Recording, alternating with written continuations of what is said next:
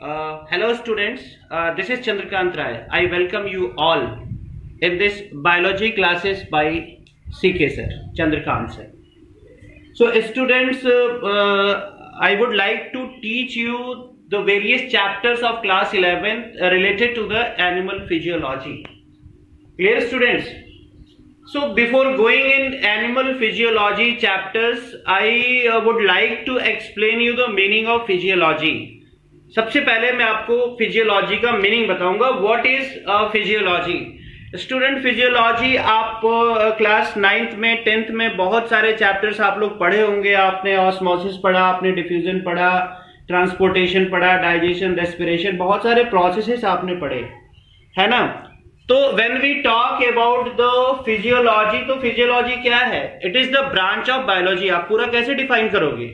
It's a branch of biology that deals with the study of various vital activities clear again i repeat students uh, physiology can be defined as or it is defined as the study of vital activities आपको पूरा जब कहना होगा तो आप बोलोगे the branch of biology physiology is the branch of biology that deals with the study of various vital activities अब students यहाँ पे एक टर्मोलॉजी आई है vital activities clear so vital activities का मीनिंग क्या होता है? What what is referred by the vital activities तो vital activities means the various physical and chemical reaction clear one again I repeat the various physical and chemical reaction that take place inside the cell और in the body of the organism मैंने cell word इसलिए use किया कि cell अपने आप में एक organism होता है।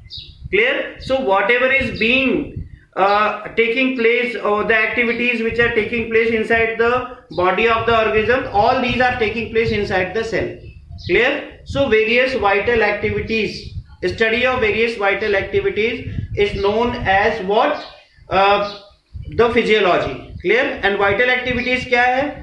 All those physical and chemical reactions or the activities that takes place they are called as the vital activities clear students so here in this uh, uh, lecture or in this video clip uh, i wish to discuss uh, about the animal physiology इससे पहले students में एक चीज़ आपको बता दूँ कभी कभी जो है वो कॉम्पिटिटिव एग्जामिनेशन में पूछा जाता है नीट एग्ज़ाम में पूछा जाता है, आप नेक्स्ट का एग्ज़ाम दोगे, बहुत सारे एंट्रेंसेज आप देते हो, उसमें कभी कभी पूछ देता है कि who is the father of physiology ये जनरली एनसीआरटी जैसी बुक में मेंशन नहीं रहता है but you should know the who is known as the father of physiology clear तो student father of physiology is Claude Bernard उनको कहा जाता है Claude C L A U D E C L A U D E Claude Bernard is known as Bernard he is known as father of physiology he was born near about two hundred seven years ago clear in the year July July ये कुछ ऐसा ही है जुलाई 1813 में इनका birth हुआ था। Clear और France में। ये कभी कभी जो टफ कॉम्पिटेटिव एग्ज़ाम होते हैं, उसमें इस तरह के क्वेश्चन पूछे जाते हैं अक्सर। या आप सिविल सर्विसेज़ की तैयारी करते हो तो आई एस की तैयारी करने जाते हो तो वहाँ भी कभी कभी born in France in the year 1830 लगभग 200 साल पहले।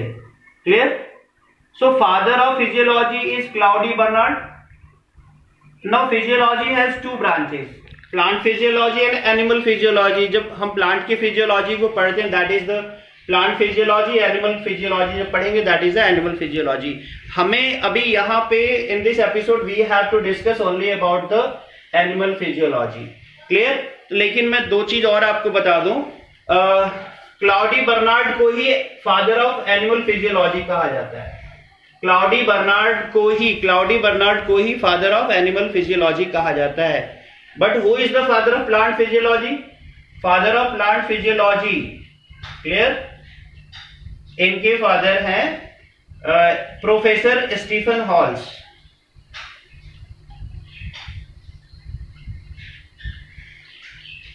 Stephen Hales he is known as the father of plant physiology so father of physiology is Claude Bernard father of animal physiology again claude bernard and father of plant physiology he is the professor stephen uh, halls.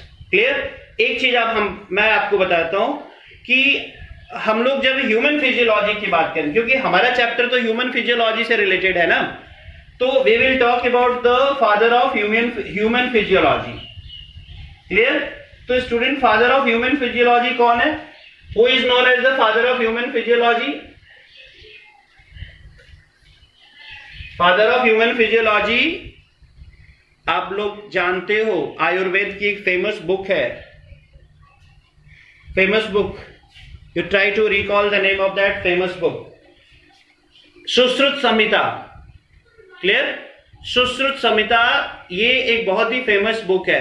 तो Sushruta he is considered as the father of human physiology. Uh, so far I have discussed about the physiology and I have told you the definition of the physiology as well as the kind of physiology, animal physiology, plant physiology. Uh, now uh, let us uh, begins with the fifth unit of class 11th biology that includes the chapters of the human physiology so uh, the human physiology chapters includes the following chapters. This is the fifth unit. Human physiology is the fifth unit.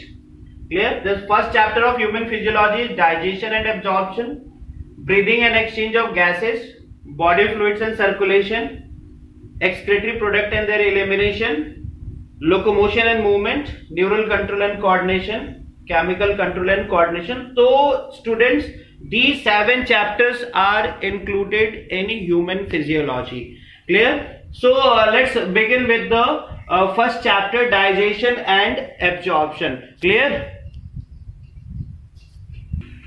Let's begin with the digestion and absorption student मैं direct digestion से तो शुरू कर ही नहीं सकता है ना digestion की ज़रूरत कब पड़ती है क्यों पड़ती है हम लोग को पहले ये थोड़ा सा uh, जानना पड़ेगा कि what is the need of the digestion clear so so, student तो सबसे पहले मैं आपको एक बताऊँगा क्या न्यूट्रिशन के बारे में। पहले तो आप इस टर्मोलॉजी को आप समझ लीजिए पहले। Clear what is nutrition class tenth में भी you have studied this terminology nutrition nutrition is a process of intake of food and its utilization clear students what is nutrition intake of food and its utilization in the body is called as the nutrition अब nutrition दो तरह का है, आप लोगों ने पढ़ा होगा। क्लियर दो तरह का न्यूट्रिशन आपने पढ़ा है। दो तरह का न्यूट्रिशन कौन कौन सा दो तरह का न्यूट्रिशन एक आपने पढ़ा था। ऑटोट्रॉफिक न्यूट्रिशन और दूसरा आपने पढ़ा था। हेटरोट्रॉफिक न्यूट्रिशन ये दो न्यूट्रिशन होते हैं, फिर ऑटोट्रॉफिक के फर्दर हमारे दो पार्ट होते हैं। फोटोसिंथेसिस, जो आपको पढ़ना है क्लास इलेवेंथ में, और दूसरा होता है कीमोसिंथेसिस। और हेट्रोट्रॉफिक के भी कई टाइप्स आपने पढ़े थे। हेट्रोटाइप की हेट्रोट्रॉफिक न्यूट्रिशन जैसे पहला था होलोजोइक होलोजोइक फिर आपने देखा था पैरासिटिक मूड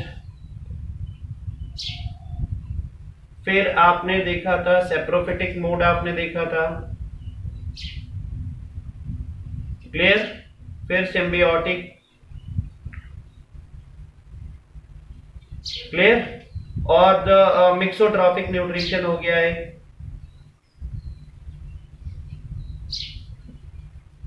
मिक्सोट्रॉपिक न्यूट्रिशन तो ये एक जनरल मैंने चार्ट आपको दिखा है कि न्यूट्रिशन दो तरह का autotrophic nutrition and heterotrophic nutrition autotrophic में स्टूडेंट आप जानते हो कि the organism which prepare their own food material they are called as autotroph and the mode which they adopt is called as the autotrophic mode of nutrition clear और फिर autotrophic mode of nutrition को भी दो part में divide कर दिया गया photosynthesis और chemosynthesis photosynthesis mean photo autotrophic nutrition chemosynthesis means chemo autotrophic nutrition clear इन दोनों ही केस में क्या है? दोनों ही केस में ऑर्गेनिज्म अपना भोजन खुद बना लेता है। क्लियर फोटोसिंथेसिस से तो आप लोग फेमिलियर हो। All the green plants and algae clear and all the organism containing chlorophyll they utilize the sunlight they utilize sunlight and they prepare their own food तो यहाँ पे सनलाइट सोर्स है energy का। सनलाइट की help से organism अपना भोजन बना रहा है। वो फोटोट्रॉप्स हो गया फ़ोटो ऑटोट्रॉप्स और उस प्रोसेस को हमने फोटोसिंथेसिस बोल दिया। यहाँ पे हमने देखा कि कीमोसिंथेसिस यानी there are certain bacteria they are called as chemotrophs they utilize chemical energy and that chemical energy is utilize in the formation of food material तो दोनों ही केस में ऑर्गेनिज्म अपना भोजन खुद बना लेता है तो they comes under the category of autotroph यहाँ पे भी एक चीज़ मैं आपको रिकॉल करा दूँ कि कीमोट्रॉप्स एनर्जी कहाँ से लेता है? एक्चुअली कीमोट्रॉप जैसे sulphur bacteria iron bacteria these are found in the area that is rich in inorganic substances like hydrogen sulphide iron sulphide तो ये बैक्टीरिया जो होते हैं, सल्फ़र बैक्टीरिया है और आयरन बैक्टीरिया है, ये क्या करते हैं? They release enzyme from their body and that enzyme breaks the inorganic substances ये बैक्टीरिया अपनी बॉडी से एंजाइम रिलीज़ करते हैं और ये एंजाइम उस इनऑर्गेनिक सब्सटेंस का ब्रेक डाउन करते हैं। और उस रिएक्शन में जो एनर्जी निकलती है, उसको यूटिलाइज करके अपना वो फ़ूड मटेरियल बनाते हैं। क्लियर तो that is why they are called as the chemoautotrophs clear so but हमें तो बेसिकली हमको तो इस वाले पार्ट की तरफ़ फोकस करना है। ये तो सेपरेट चैप्टर हमारा एक है ये फोटोसिंथेसिस प्लांट फिजियोलॉजी का। तीसरा चैप्टर है फोटोसिंथेसिस हमें पढ़ना ही है। But here we have to discuss about the heterotrophic mode of nutrition वो भी हमें होलोजोइक के बारे में पढ़ना है। होलोजोइक न्यूट्रिशन क्या है? Animal like holo means what what is the meaning of holo holo का मतलब क्या होता है? होलोजोइक होलो मीन्स कंप्लीट और जोन मीन्स एनिमल तो होलोजोइक होलोजोइक इसके दो पार्ट होते हैं। होलो मीन्स कंप्लीट और दूसरा होता है जून मीन्स एनिमल एनिमल जो न्यूट्रिशन एनिमल लाइक हो, अब एनिमल लाइक से क्या मतलब यहाँ पे? एनिमल लाइक का मतलब होता है the mode of nutrition which includes सबसे पहला step ingestion then digestion absorption then assimilation egestion ये स्टेप पाँच स्टेप है टेंथ में भी आपने पढ़ा होगा। तो जिस मोड ऑफ़ न्यूट्रिशन में पाँचों स्टेप आते हैं that comes under the category of holozoic nutrition तो स्टूडेंट्स हम लोग यानी animals we are the animals human being भी तो एनिमल ही होता है. हाईली एडवांस एनिमल है ना? तो human being holozoic nutrition perform करता है. क्लियर इसमें पाँच स्टेप हो गए. पहला हो गया ingestion intake of food its digestion then absorption assimilation that is the utilization and egestion mean that is the removal of undigested food out of the body उसके बाद parasitic mode of nutrition saprophytic symbiotic और mixotrophic ये हम लोग बाद में detail में पढ़ेंगे। Clear students so now let me explain the holozoic nutrition that is nutrition in the human being हम लोग को ये डायरेक्ट अब पढ़ना है। Let's come to the point तो students there are certain processes which are required for survival इसमें दो प्रोसेस बहुत ही इंपॉर्टेंट होता है। एक होता है, आप देखोगे न्यूट्रिशन का प्रोसेस ठीक है? बिना न्यूट्रिशन का कोई ऑर्गेनिज्म सर्वाइव नहीं करेगा। और दूसरा होता है रेस्पिरेशन का। रेस्पिरेशन ये दोनों चीज़ें सर्वाइवल के लिए बहुत ही ज़रूरी होती हैं। जैसे हम लोग we take the food material कोई भी एनिमल फ़ूड मटेरियल लेता है, और वो food material that is the उसमें जो एनर्जी गिविंग फ़ूड होता है, वो दैट इज़ ब्रोकन डाउन वो डाइजेस्ट होता है एब्जॉर्ब होता है सेल्स के अंदर जाता है और एनर्जी प्रोड्यूस करेगा. और एनर्जी अपने आप से ऐसे थोड़ी प्रोड्यूस कर लेगा. एनर्जी प्रोड्यूस करने का भी एक प्रोसेस होता है. That comes under the respiration वाला पार्ट क्लियर सो रेस्पिरेशन में क्या होता है? जब हम ब्रीदिंग करते हैं या कोई ऑर्गेनिज्म जब ऑक्सीजन इंटेक करता है तो that oxygen break the digested food material जो सबसे सिंपलेस्ट फॉर्म है दैट इज़ द ग्लूकोज एक एग्ज़ाम्पल हम आपको बता रहे हैं। तो वो उसका ब्रेकडाउन होता है तो एनर्जी प्रोड्यूस होती है। तो फ्रेंड्स दोनों ही प्रोसेस बहुत इंपॉर्टेंट होते हैं। एक तो डाइजेशन के बाद जो फ़ूड एब्जॉर्ब होता है, वो सेल्स में जाएगा, वहाँ पे उसका ब्रेक डाउन होता है। क्लियर तो फ़ूड लेना बहुत ज़रूरी होता है। क्लियर और उसके बाद वो डाइजेस्टेड फ़ूड का ब्रेकडाउन होना बहुत ज़रूरी होता है। तो यहाँ बार बार एक टर्म आ रहा है फ़ूड फ़ूड फ़ूड तो फ़ूड क्या है? वॉट इज़ फ़ूड ये छोटी सी क्लासेस में जूनियर क्लासेस में आपने पढ़ा होगा फ़ूड क्या है? फ़ूड क्या है? What do mean by the food food क्या है? Food is the substance which provide us the material which are required for healthy growth and development of our body food food वो substance है, ठीक है? Whatever we eat in order to get the energy in order to get the material for our normal growth and development of the body clear वो चीज़ें जो हमें ingredient provide करती हैं हमारे ग्रोथ के लिए डेवलपमेंट के लिए टिश्यू रिपेयर के लिए बॉडी में एनर्जी प्रोडक्शन के लिए, वही तो फ़ूड होता है। क्लियर आप रोटी खाते हो क्लियर आप चावल खाते हो, आप दाल पीते हो, यानी तमाम तरह की डेली फ़ूड हम लोग खाते हैं अपनी लाइफ में। वो कहीं ना कहीं से हमारे बॉडी के नॉर्मल ग्रोथ और डेवलपमेंट के लिए बहुत ही ज़रूरी होता है। क्लियर अब स्टूडेंट्स फ़ूड को हम लोग तीन पार्ट में डिवाइड करके पढ़ते हैं। ये आपने देखा होगा कॉन्सेप्ट मैप आपने देखा होगा, है ना? Energy giving food energy giving body building food body building उसके बाद फिर प्रोटेक्टिव फ़ूड ये छोटी क्लासेस में पढ़ा है आपने। Protective food clear energy giving में क्या आता है? आपका कार्बोहाइड्रेट है? कार्बोहाइड्रेट्स और फैट ये एनर्जी गिविंग में आ गए। बॉडी बिल्डिंग में क्या आ गया? प्रोटीन आ गया। और प्रोटेक्टिव में क्या आएगा? Minerals and vitamin minerals and vitamin. ये these are the component of the food ये सारी चीज़ें चाहिए। अगर हम, इसमें से कोई भी चीज़ अगर हमारे बॉडी में नहीं पहुँच पाती है तो definitely we will suffer from some deficiency disorder protein नहीं मिलेगा क्वाशेरकर मैरिसमस होगा। मिनरल विटामिन नहीं होंगे तो इम्यून सिस्टम वीक होगा, तमाम तरह की बीमारियाँ हो जाएँगी। और ज़ाहिर सी बात है, अगर कार्बोहाइड्रेट फैट नहीं होगा तो we will not be able to get the energy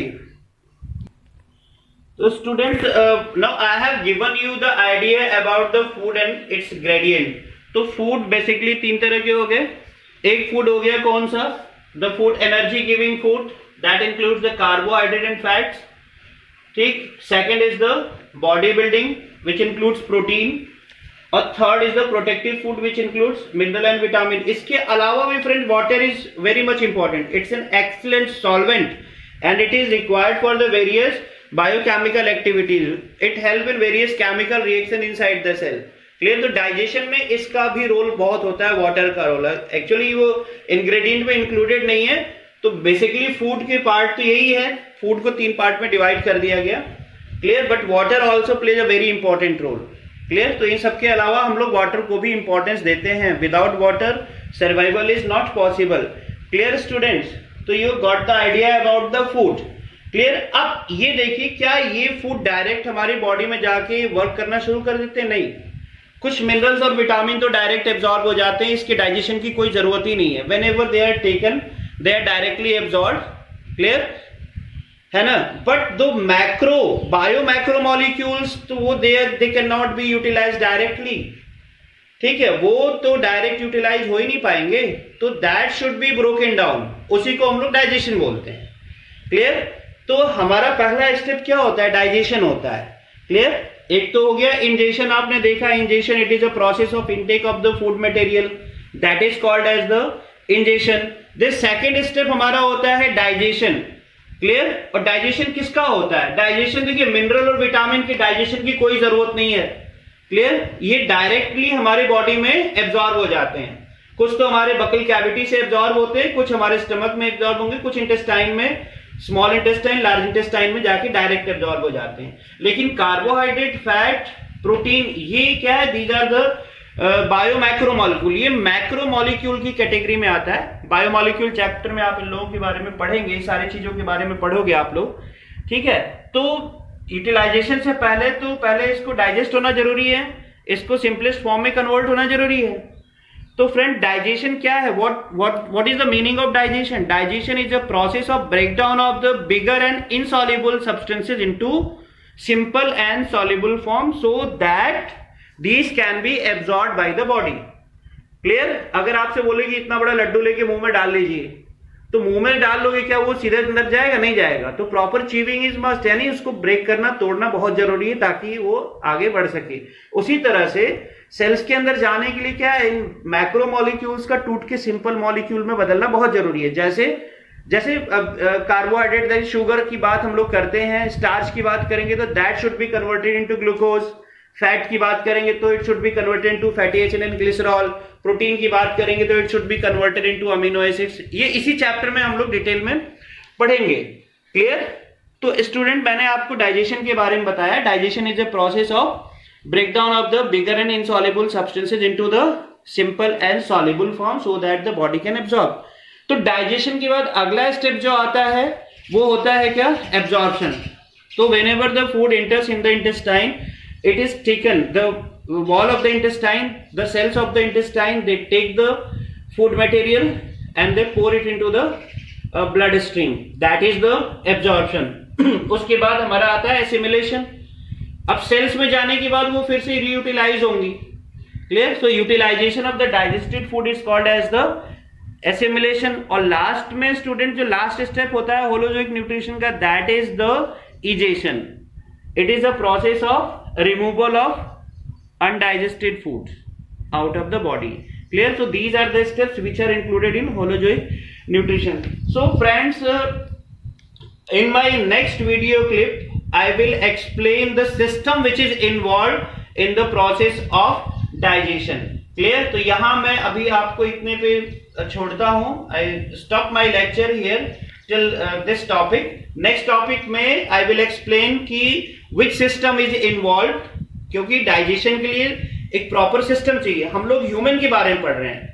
Clear our topic is the digestion and absorption in the human body we are not talking about the amoeba and all clear तो human में क्या होता है? There is a clear a well defined digestive system is present which is involve in the process of digestion student in my next video lecture I will explain you about the different part of the human digestive system thank you